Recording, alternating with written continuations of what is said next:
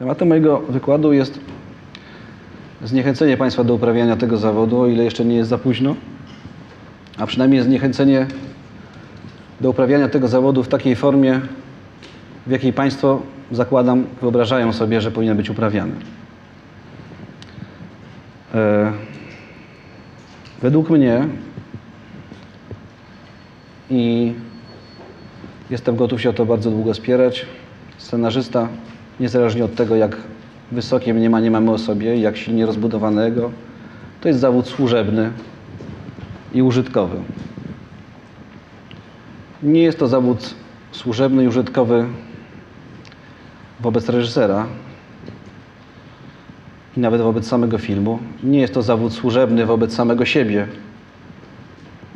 swoich emocji, swojego ego. Nie jest to zawód służebny wobec społeczeństwa czy narodu. Jest to zawód służebny wobec tej grupy społeczeństwa, która przypadkowo w jakimś czasie definiuje się spontanicznie, bo niecelowo jako widzowie. I ta grupa widzów cierpi na tę samą przypadłość, którą my, scenarzyści, możemy uleczyć. To znaczy chce, żeby jej zabudować wyobraźnię, ale sama tego, bo sama tego nie potrafi zrobić.